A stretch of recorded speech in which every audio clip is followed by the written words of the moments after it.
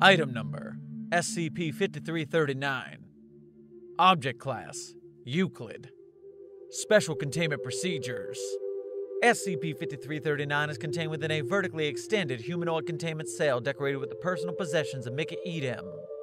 All meals given to SCP 5339 must consist of soft, semi solids such as applesauce, watermelon slices, or jam. SCP 5339 is to be given weekly English and ASL lessons on a rotational shift basis by selected researchers.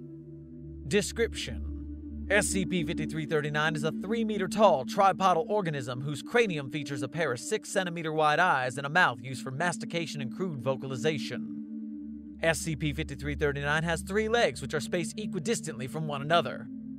Despite this, SCP 5339 has difficulty remaining stable for more than 15 seconds. Discovery On March 12, 2013, Hannah Adim gave birth to a child, Mickey Adim who had developed an accessory arm underneath his left pectoral during the late stages of Mrs. Adim's pregnancy. Mickey Adim was born in the St. Raymond Nonnatus Hospital with expected complications, although Mickey and Hannah Adim both recovered within a reasonable time period. One year after Mickey Adim's birth, he disappeared due to unknown circumstances while on vacation with Mrs. Adim. Upon returning to her place of residence, Mrs. Adim located SCP 5339 in Mickey Adim's room. Test log 5339 1 March 12, 2014. In order to determine how SCP 5339 relates to Mickey Adim, a variety of tests were conducted. The following table lists Object 1, Object 2, and the result of the test. 1 cubic meter of grass and 1 cubic meter of assorted bovine flesh. SCP 5339 appears uninterested in the grass and sniffs the flesh before emitting a loud vocalization and retreating to the corner of its containment unit. Mickey Adim's blanket, nearly severed for unknown reasons, or an undamaged blanket. SCP 5339 moves toward the nearly torn blanket and successfully tears it down the center with one of its legs and its jaw. SCP 5339 places one half of the blanket over its head and the other half underneath itself. A framed photograph of Hannah Adim and a tattered photograph of Will Adim, Mrs. Adim's husband who expired one year previously. SCP 5339 approaches Will Adim's photograph with apparent interest. SCP 5339 grunts and moves to Mrs. Adim's photo. At the end of the test, SCP 5339 resisted the research staff who had attempted to remove Mrs. Adim's photo and slid the photo around the cell until a researcher grabbed SCP 5339's leg to allow another researcher to retrieve the photo. A photograph of Mickey Adim and a photograph of SCP 5339. SCP 5339 pauses momentarily and then moves towards the image of Mickey Adim. SCP 5339 lowers its head and pushes the image of Mickey Adim with its snout. Addendum 5339 2, March 12, 2014. Dr. Green was instructed to retrieve certain objects from SCP 5339's containment cell once testing had concluded. While Dr. Green attempted to remove the cubic meter of assorted bovine flesh, SCP 5339 moved behind them and produced a vocalization similar to that of a child in distress. Dr. Green questioned SCP 5339, who paused, and then addressed Dr. Green as Ma. It is unknown whether or not SCP 5339 has awareness of what its vocalizations allude to. Further research is to commence. Test log 5339 1, March 15, 2014 through July 18, 2016.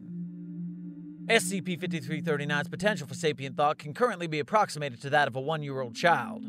To improve SCP 5339's vocabulary and speech, Weekly English lessons are implemented into SCP 5339's containment procedures. Lesson plans have been designed with the assistance of ASL and other nonverbal speech therapy methods.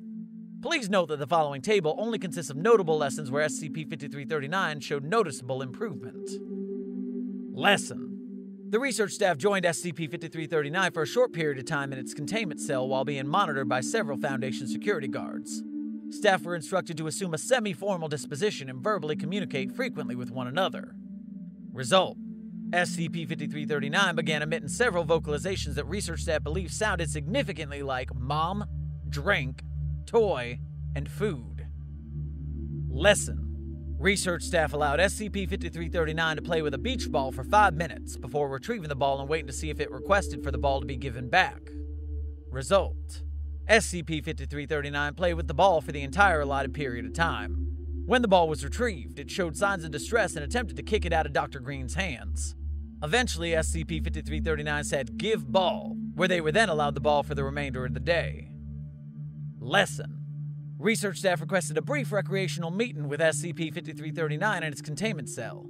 SCP 5339 was given a cup of applesauce while the rest of the staff were given coffee. Result SCP 5339 learned the words sauce, cup, person, and friend. Lesson Research staff placed several objects inside of SCP 5339's containment cell that it has not learned the name of. Research staff hope that it may attempt to expand its own vocabulary by creating compound words.